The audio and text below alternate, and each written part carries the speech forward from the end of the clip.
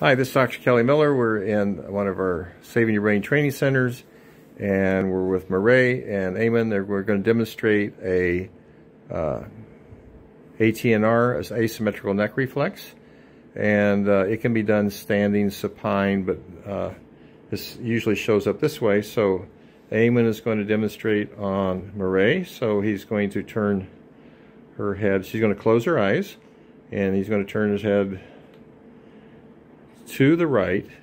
So, and as you see a bend occur in her elbow there.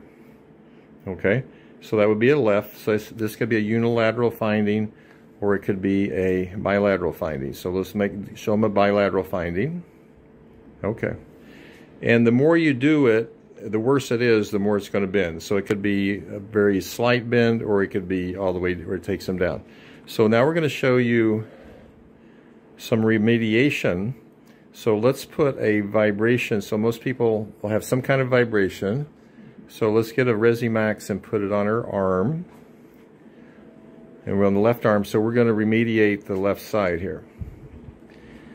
So if you don't have a Rezzimax, go get a toothbrush. See if you have a toothbrush that really vibrates, or go get one. You can probably get one of those for under $20.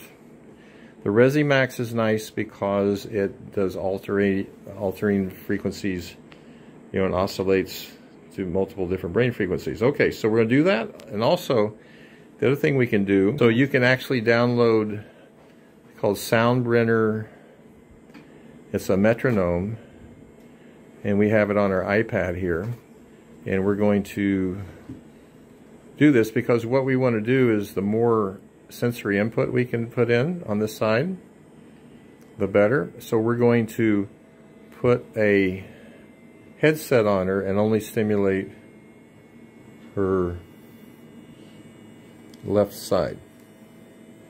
Okay, we're going to put it on 60, so it is, this can vary. So I'll just show you it can vary, you can make it more, but usually we're going to do 60 and we're going to put the sound on so we can turn it on and so we can hear it. Okay, go, why don't you go grab the... So the, the advantage is if this, if you just have a phone, you can just put this up in their ear, okay, just to this side. And we'll do that in the office many times if we got more than one pair of hand.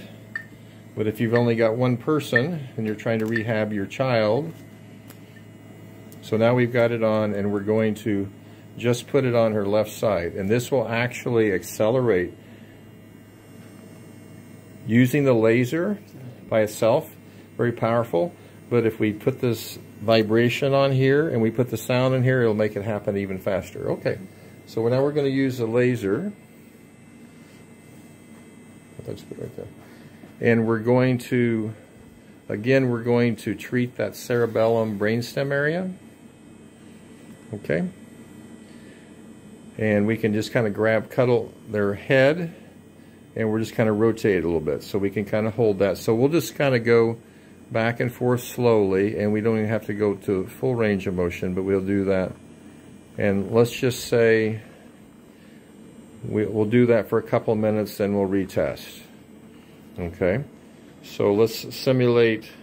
We've gone two minutes, Murray, and now he tests you again and it doesn't quite bend as bad. Okay, so it's you're not going to cla okay. So we'll turn your head. Go ahead and turn her head and check her.